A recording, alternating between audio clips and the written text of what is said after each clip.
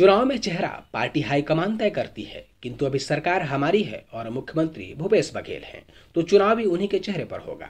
ऐसा मैं मानता हूँ। यह कहना है कांग्रेस के प्रदेश अध्यक्ष मोहन मरकाम का।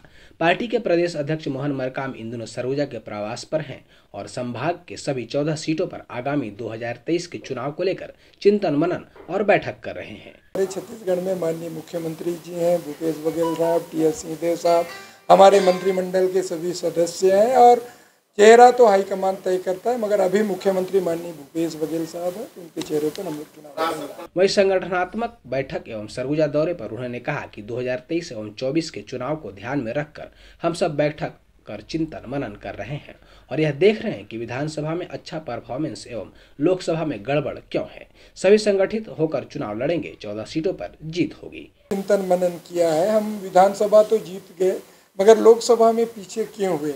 उसके बारे में भी आज भी हम लोगों ने समीक्षा की है। अगर कुछ कमियाँ हैं, उन कमियों को हम लोग संगठन स्तर पर बैठ के उसका निराकरण करेंगे। थैंक यू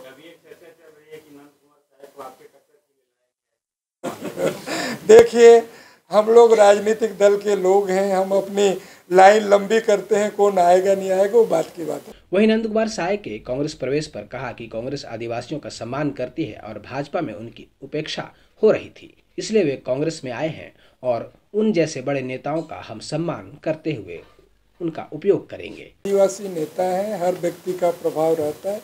हम उम्मीद करेंगे कि कांग्रेस पार्टी में अगर आए हैं तो उसका लाभ मिले। भारतीय जनता पार्टी जिस ढंग से वरिष्ठ नेताओं की उपेक्षा की, भारतीय जनता पार्टी हमेशा आदिवासियों की उपेक्षा की। भारतीय जनता पार्टी में आदिवासी नेताओं को लगातार नज़रअंदाज किया गया, मगर कांग्रेस पार्टी हमेशा आदिवासी नेताओं का सम्मान करती रही है। मुझे लगता है उसके आने से पार्टी को लाभ मिलेगा।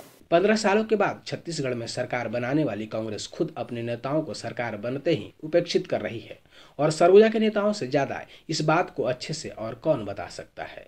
लगे हाथ मोहन मरकाम को अपने पार्टी कार्यकर्ताओं एवं पदाधिकारियों से भी दो चार होना चाहिए और उनकी समस्याओं को सुननी चाहिए।